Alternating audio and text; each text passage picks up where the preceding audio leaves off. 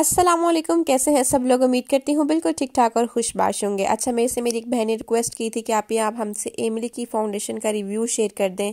तो मैं जनाब गई मार्केट एमली की फाउंडेशन बाय करने तो आगे से मुझे ये दो बहनें मिल गई। और अब इन दोनों की प्राइस भी सेम थी, ठीक है?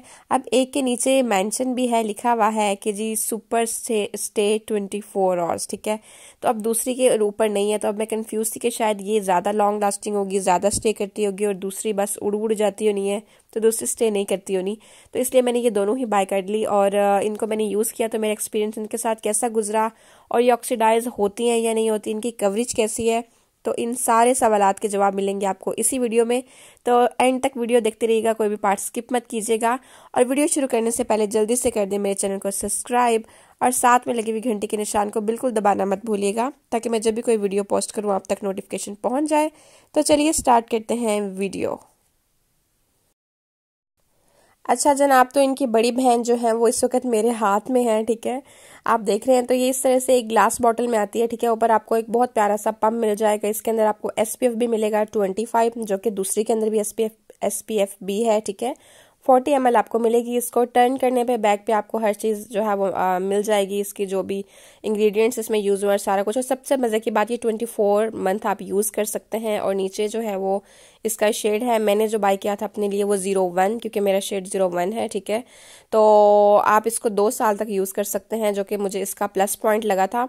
मोस्टली फाउंडेशन जो है वो एक साल तक ही चलती हैं। अच्छा जी अब बात कर लेते हैं इसकी कवरेज की। तो जनाब ये मीडियम टू फुल कवरेज है मतलब आप इसको जैसे जैसे लगाएँगे कवरेज ज़्यादा देती जाएगी आपको ठीक है?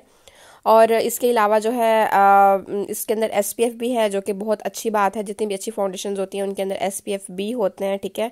और ऑक्सीडाइज की बात करें तो जनाब ये बिल्कुल ऑक्सीडाइज होती है। तो जब आपने बाय करना है तो आपने अपना शेड जो है ना मैंने ज़ीरो वन बाय किया हुआ है ठीक है?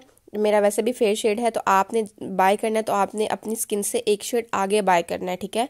ताकि अगर ऑक्सीडाइज हो भी तो ऑक्सीडाइज होके ये मैच हो जाए। अच्छा तो अब बात कर लेते हैं दूसरी फाउंडेशन की। अब देखें एसपीएफ दोनों के अंदर है, ठीक है? पहले वाली के अंदर भी है, बड़ी बहन जो है, दूसरी बहन जो है, इसके अंदर भी एसपीएफ है, ठीक है?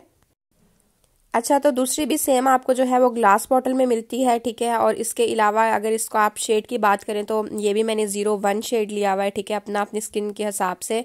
तो आप अपनी स्किन देख लीजिएगा। मैं अगेन बता रही हूँ, दोनों ही ऑक्सीडाइज होती हैं फाउंडेशन तो इसमें ये नहीं कि एक ऑक्सीडाइज होती है या नहीं।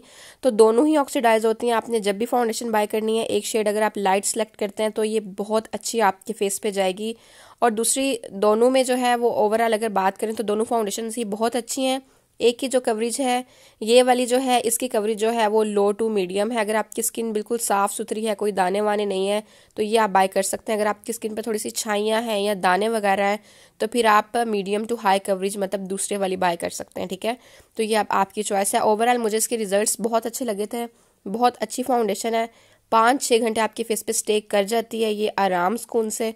और अगर आप बाय करना चाहते हैं तो आप ज़रूर बाय कर लें ट्राई कर लें। बहुत अच्छी फाउंडेशन है ये ठीक है?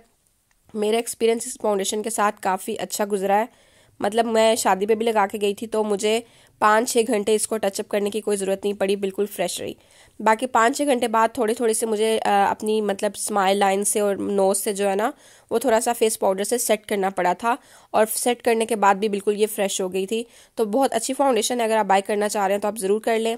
तो ये थी आज की छोटी सी वीडियो आई होप आपको अच्छे से डिफरेंस समझ में आ गया होगा कि दोनों में से हमें कौन से वाली बाय करनी चाहिए और कौन सी नहीं. तो अगर वीडियो अच्छी लगी हो तो प्लीज़ उसको लाइक कर दीजिएगा और चैनल को सब्सक्राइब करना बिल्कुल भी मत भूलिएगा.